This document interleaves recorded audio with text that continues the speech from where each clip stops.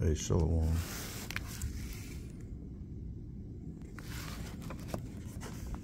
Got a proof right here.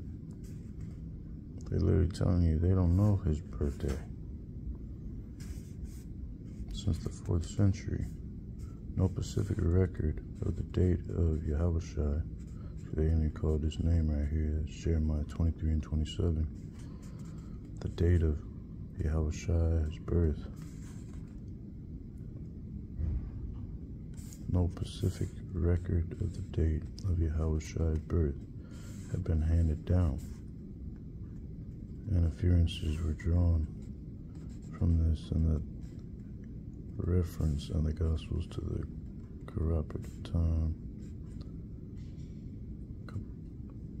comparative time of the birth of John the Baptist, but perhaps the strongest influence in the acceptance of December 25th was the fact that in the Roman world there had long been celebrated at that time the festival of the birthday of the unconquered son.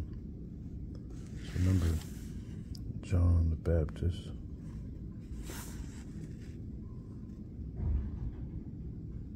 He was killed on a, on a birthday of a king.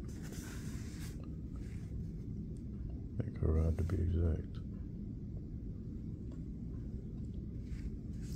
But this is why they were slain.